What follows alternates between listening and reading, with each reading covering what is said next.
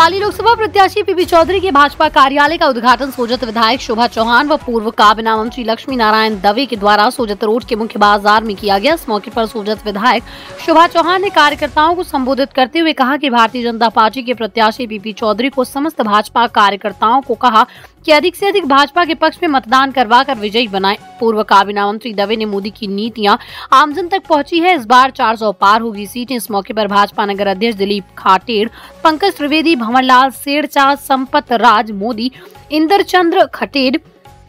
Sanjay Trivedi Tulsiram Bairwa Gyan Chand Upadhyay Jainarayan Gehlot Sanjay Singh Om Prakash Mandora advocate Jai Singh सांकला चंद दाधीज कुंदन सिंह पवार खेतान सहित अन्य भाजपा कार्यकर्ता मौजूद रहे